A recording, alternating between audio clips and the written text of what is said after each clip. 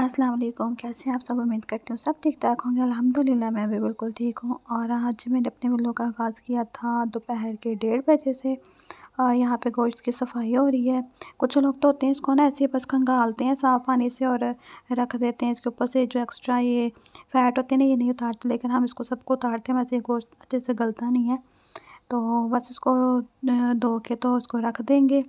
और फिर इस तरह पकाने में आसानी होती है। जब भी आपने पकाना, आप निकाल लो पैकेट निकाल लो और उसको पका लो तो उसके बाद घर के जो बाकी जो छोटे मोटे काम है, वो कर रही तो यहाँ पे हो गया था अफ्तारी का टाइम हर काम तो शूट नहीं किया जाता ना, हर काम में मोबाइल नहीं पकड़ा जाता, मुश्किल हो जाती है। तो यहाँ पे जो हो गया था अफ्तारी का टाइम आज बन रहे थे सिंपल पकौड़े। कुछ खाने का और दिल नहीं कर रहा था और पकौड़े तो जैसे ना, वो फ़र्ज़ हो गया ना रोज़ों के साथ साथ के, रोज़ा खोलना तो पकौड़ों के साथ ही खोलना तो बस पकौड़े, हम बेसिक से पकौड़े थे। वही बनाएँगे, कोई ख़ास इसकी रेसिपी नहीं है। और ख़ुद से ही बना रही हूँ मतलब जैसे पकौड़े बनते हैं, वही बन रहे हैं। और इतनी सुस्ती पड़ी होती है ना सारा दिन, रात के टाइम अफ्तारी से पहले थोड़ा सा बंदा चार्ज होता है। कि अब उठ के कोई काम शाम कर लें, तब दिन सारा ख़त्म हो जाता है। और बस दिन में काम कर रहे होते हैं, लेकिन सुस्ती में बस दिल नहीं करता ना, बेदिली से जो काम होते हैं, वही हो रहे होते हैं। तो मौसम चेंज हो गया, गर्मी आ गई है। और अब तो पंखे चलने शुरू हो गए हमारे यहाँ पे, हमारे सिटी में। कुछ सिटी में तो काफ़ी टाइम से पंखे चल रहे हैं, लेकिन हमने आज ना, चलाने हमने भी शुरू करने रात को भी पंखा चलता, दिन में भी पंखे चलते हैं। तो शायद मौसम की वजह से गर्मियों में वैसे भी सुस्ती आ जाती है और एक रोज़ा होता है और कुछ करने का दिल भी नहीं करता। बस ऐसे ही ना बंदा लटका लटका ही ना सारे काम कर रहा होता है और खुश हो के नहीं कर रहे होते। तो बस खैर यहाँ पे रमज़ान जो है वो भी ख़त्म होने को है माह रमज़ान जल्दी से गुजर गया, पता भी नहीं चला। और आधा रमज़ान तो हमारा वैसे ही बहुत बिज़ी गुजरा और बाकी का रमज़ान वो भी अच्छा गुजरा गया। माशाल्लाह से अल्लाह का शुक्र अच्छा गुजरा। और बस अल्लाह पाक से यही दुआ है कि जो भी इस रमज़ान में हमने जिस जिसने भी जो भी दुआएँ मांगी हैं, अल्लाह पाक सबकी नई ख्वाहिशात को कबूल मंजूर फरमाया आमीन, सुम्मा आमीन। और जो हरी मिर्चियाँ वो इतनी यूज़ हो नहीं थी रही और बड़ी बड़ी वो ड्राई हो गई थी तो मैं सोच रही थी इनका मैं क्या करूँ? तो वो मैं दिखा रही थी कितनी वो सूख गई है ना, वो इतनी यूज़ होती नहीं है क्योंकि रोज़ा होता है सबका और अफ्तारी में थोड़ा बहुत बहुत खाना होता है सालन इतना ज़्यादा खाया नहीं जाता, फिर डेली बेसिस पे इतनी मिर्चें ना यूज़ नहीं हो रही होती तो वो पड़ी पड़ी फ्रिज में ना वो ड्राई हो जाती हैं।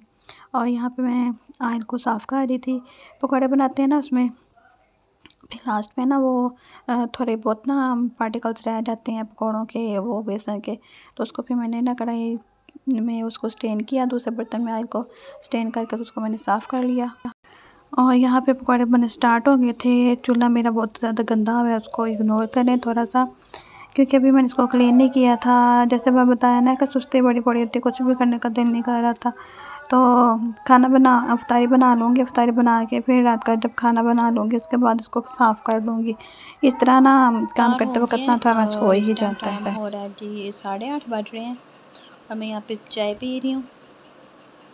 आज चावल खाए थे ना, वैसे मैं अफ्तारी के बाद चाय नहीं पीती, लेकिन आज चावल खाए थे तो इसलिए फिर चाय बना ली कि चाय पी लेते हैं। गर्मी बहुत ज़्यादा हो गई है ना पंखा चल रहा है ऊपर।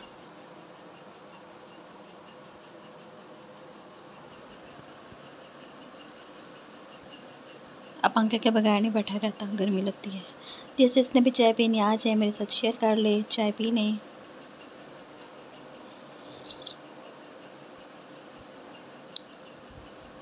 ये हमारी सबकी ना एक, कह लें, बुरी आदत है। जो ऐसा नहीं करना चाहिए, लेकिन हम लोग करते हैं। हम ये इसको पीते नहीं है ना तो ये इसको ऊपर ना हम यहाँ पे लटका देते हैं टावल बना के तो बस फिर यहीं पर लटकती रहती है। कुछ लोगों को बहुत पसंद होती है, वो खा जाते हैं, लेकिन हम लोग नहीं खाते। हम बहन भाई ना इसको यहाँ पे ऊपर ही लटका देते हैं, इधर ऊपर।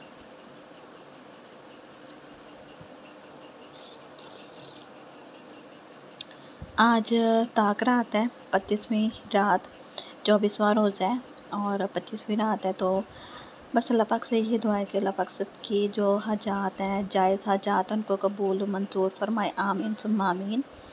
तो बस आपसे, आप भी मेरे लिए दुआ कर दें कि मेरी भी जो हाजात हैं, जो मेरी ख्वाहिशात हैं, जो मेरी जायज़ ख्वाजात हैं, वो अल्लाह पाक उन्हें कम, कबूल फरमाए, और मेरी भी वो ज़रूरियात, जो ख्वाहिशात हैं, वो पूरी हो जाए, आमीन।